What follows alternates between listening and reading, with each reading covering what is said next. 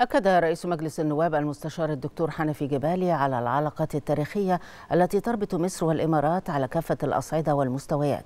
وخلال استقباله رئيس المجلس الوطني الاتحادي الإماراتي صقر غباش استعرض المستشار جبالي الطفرة النوعية التي تشهدها مصر في مجال البنية التحتية خاصة في مجال الطرق وهو ما يجعل بيئة الاستثمار في مصر بيئة واعدة.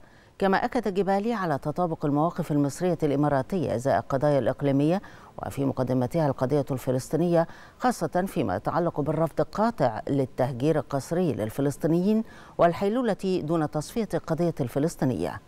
ومن جانبه شدد غباش على أن العلاقات الإماراتية المصرية ضاربة في جذور التاريخ مشيدا بالموقف المصري الصلب في وجه مخططات التهجير القسري للفلسطينيين ومنددا بالمعايير المزدوجة للمجتمع الدولي في تعامله مع تلك الأزمة.